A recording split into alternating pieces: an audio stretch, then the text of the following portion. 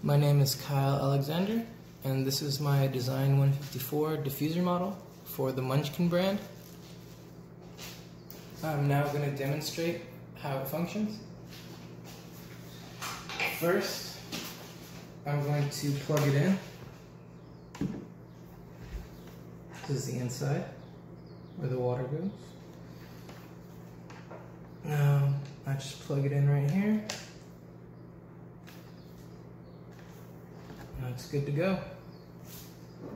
I'm gonna fill it with some water now.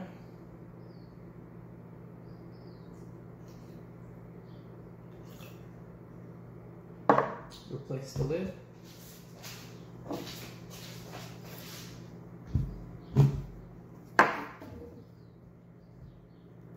As you can see, it lights up.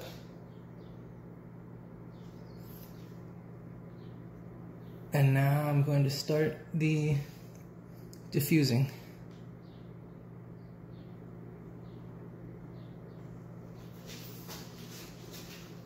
It has begun diffusing. If you can see that, there's some vapor coming out of the top. And there it is. That is my diffuser model, a working prototype.